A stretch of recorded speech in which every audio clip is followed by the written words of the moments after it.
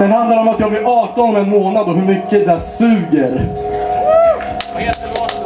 Låten heter Splitter.